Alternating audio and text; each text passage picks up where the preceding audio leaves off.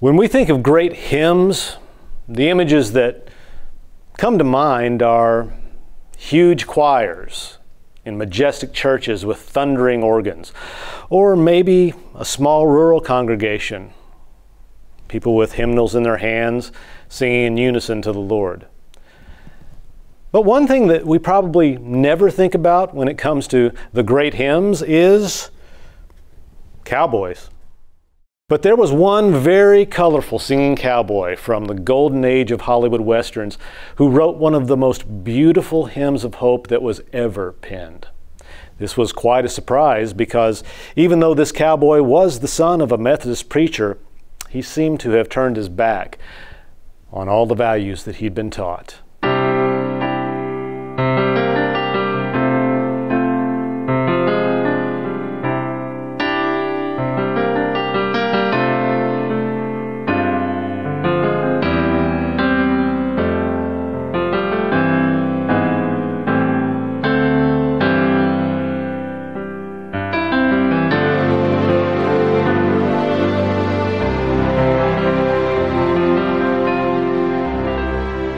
Starting in 1931, Stuart Hamblen could be heard every week on the radio as Cowboy Joe. Then, over the next 21 years, he would host three more very popular radio shows The Covered Wagon Jubilee, Stuart Hamblen and his Lucky All Stars, and the Cowboy Church of the Air.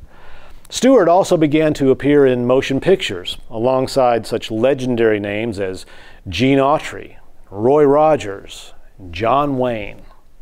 He also has the distinction of being the very first musical artist signed by a fledgling record company called Decca Records, which would become one of the titans of the music industry.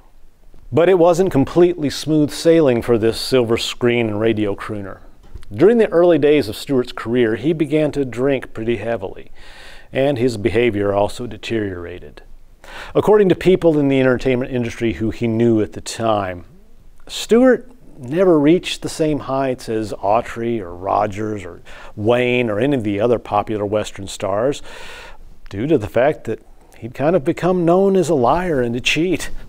And he was unreliable because of his almost nightly drinking and carousing. But in 1949, Stuart met an evangelist by the name of Billy Graham. He was struck by the evangelist's personality and his spirit, and his caring. And he even encouraged his listeners to attend the Billy Graham Crusades. After some not so gentle prodding from his wife, Susie, Stuart also agreed to attend a few nights of the crusade. During this time, God began to knock on his heart, and eventually, he surrendered his life to the Lord. After that, Stuart Hamblen's life began to take on a very different tack. He stopped drinking and worked very hard to atone for his past bad behavior to his peers in the entertainment industry. And in the early 1950s, Stuart demonstrated what it means to cowboy up and stand for what you believe in. His radio show was in national syndication. And when his sponsors tried to force him to allow his commercial spots to be used to sell alcoholic products, well, due to his newfound faith and his history with alcohol and his seeing other friends with alcoholic issues, Stuart refused. Due to his passionate, unwavering stance, his show was canceled. But the new Stuart just took it in stride. He even became a presidential candidate, heading the Prohibition Party ticket and losing, quite badly, of course, to Dwight D. Eisenhower in 1952. Then Stuart began exploring a new passion. He turned his musical talent to serving the Lord and writing gospel songs, penning It Is No Secret What God Can Do, as well as Teach Me, Lord, to Wait. Then in 1958, while reading his Bible, Stuart lingered over 1 Corinthians 4 2 through 5, reflecting on the message to wait for the Lord, wait for Him to return and bring light to what is hidden in darkness. He then picked up his pen and began to write a song about staying faithful and joyous in a world that seems so dark and foreboding at times. in what would become a timeless, beloved hymn. This singing cowboy reminds us all that as we ride the long, hard trail through the world below, we should always keep a song in our hearts. And what we are pressing toward as we ride is a beautiful, eternal home. Until then, by Stuart Hamblen.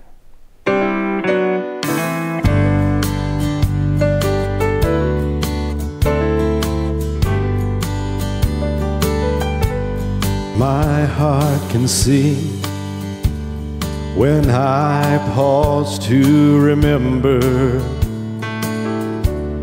a heartache here is but a stepping stone along the path that's always winding upward. This troubled world is not my final home, but until then my heart will go on singing. Until then, with joy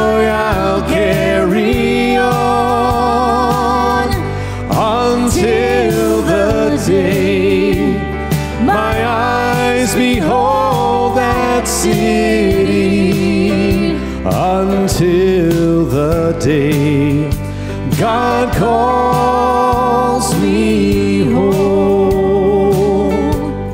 The things of earth will dim and lose their value if we recall they're borrowed for just a while. And things of earth that cause this heart to tremble. Remember there, they will only bring a smile.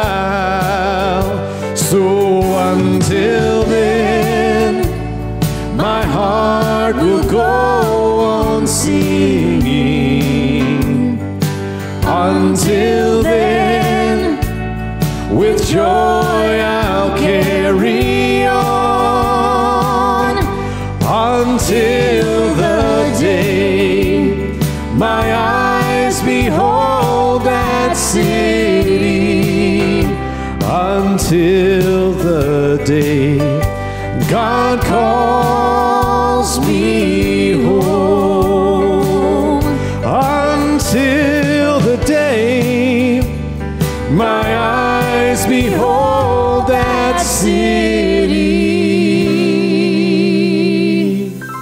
until the day God calls me home.